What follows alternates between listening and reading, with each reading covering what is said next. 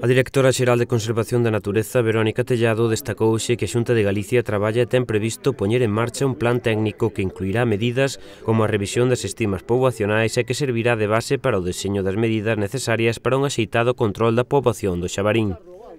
Esta iniciativa ten como obxectivo lograr unhas poboacións equilibradas que non supoñan un grave problema para as economías rurais e para os ecosistemas nos que se integran.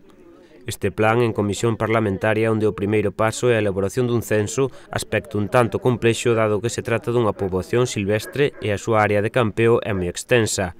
Os datos que se acaden permitirán localizar as poboacións de Xabarín e coñecer a magnitude do problema. É dicir, con esta información obxectiva poderánse axustar o plan de ordenación e de xestión dos tecores ás existencias reais desta especie no territorio.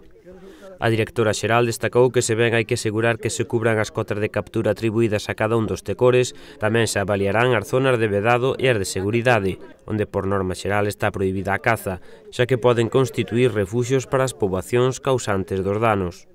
Tamén lembrou que a nova lei de caza en trámite parlamentario na actualidade contempla a creación dun fondo de corresponsabilidade que contribuirá ao soporte das cargas que leva aparellada a responsabilidade por danos ocasionados pola fauna salvaxe. Por último, engadiu que na tramitación do regulamento deste fondo abrirase un proceso participativo onde se dará voz a todos os axentes implicados na economía rural.